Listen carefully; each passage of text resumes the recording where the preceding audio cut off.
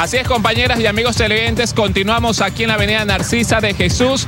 Hace poco sufrió un accidente el conductor de un tráiler. Si ustedes se dan cuenta, el contenedor quedó ahí en el carril derecho sentido perimetral hacia la terminal terrestre de Guayaquil. Según lo que nos han indicado los oficiales de la ATM, sería una pérdida de pista que sufrió este chofer de este contenedor, o perdón, de este tráiler.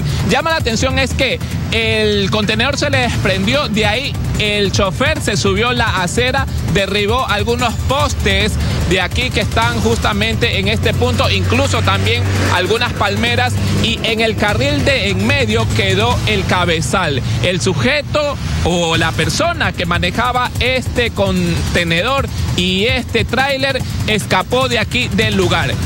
Llama la atención también esto de aquí, caminemos un poquito más para acá, miren cómo circulaba este ciudadano, con las llantas así, prácticamente dañadas, tienen huecos, están así lisas. Y así manejaba este ciudadano a lo largo de las carreteras del país. Si ustedes se dan cuenta, incluso se puede visualizar fácilmente los alambres de las llantas que sobresalen.